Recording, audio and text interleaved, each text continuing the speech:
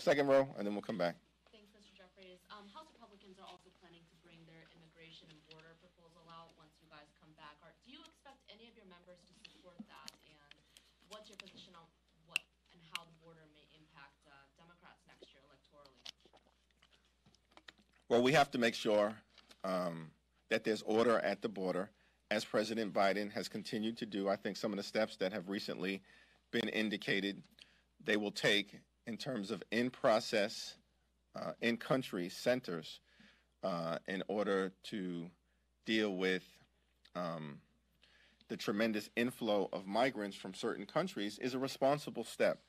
Uh, we're still waiting on additional information to be presented to us in terms of the comprehensive nature of the plan, but I have every confidence that President Biden and the administration are going to take the appropriate steps to address comprehensive immigration reform issues as well as issues that exist uh, on the border. In terms of the uh, extreme MAGA Republican plan on immigration, that's just another dead on arrival bill catering to the far right extreme of the Republican Party.